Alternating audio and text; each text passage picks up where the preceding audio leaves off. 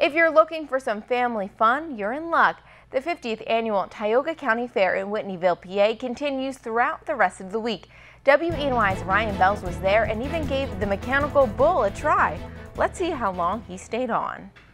This week's the 50th annual Tioga County Fair in Whitneyville, Pennsylvania. So much fun for the entire family, so head on out. We have country music star Joe Diffie performing two shows Thursday night at 5.30 and 8 o'clock, and then it's time for the Demolition Derby Friday night and Saturday night. Other than that, tons of rides and food and activities for all ages throughout the area, including the Wild Bull Ride with Yeehaw. Let's give it a try.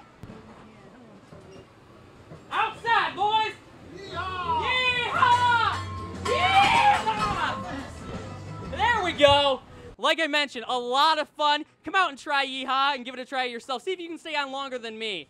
Let's take a walk around the barns and see what kinds of animals we stumble across. This is my first year showing my cows out at the fair. Um, it, I just got finished showing today, and I'm showing again on Friday.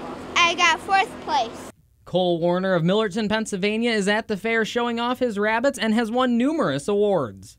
I showed them on Saturday. One, I got best in show and reserve in show. That's the best part is to see the kids grow and learn and develop their skills and enjoy it. There's tons to do throughout the Tioga County Fair, including getting these awesome funnel cakes. I come here every year. Let's try one for ourselves, and I'll actually bring a few back to the guys at the station. Can I get three funnel cakes to take back with me, please? Ice cream was definitely a hot item at the fair because of the high humidity and warm temperatures. It's so good. We got here and I said I got to eat, but I want ice cream first. And so, you know, I'm an adult, so I can have my dessert first, and then my I'm going to go get a sandwich later. But I got to have my ice cream first. It's really good. How are you today? You enjoying the fair? Yeah? Uh-huh. That's great. I'm glad you're enjoying the fair. Good to see you. So as you can see, there's a lot to do here at the Tioga County Fair, from the bull riding to seeing all of the animals and even riding the Ferris wheel here atop the Tioga County Fair. Come out to the 50th annual Tioga County Fair in Whitneyville, Pennsylvania and enjoy all that there is to offer. Reporting for WENY News, I'm Ryan Belz. And that funnel cake was very good. Thank you, Ryan.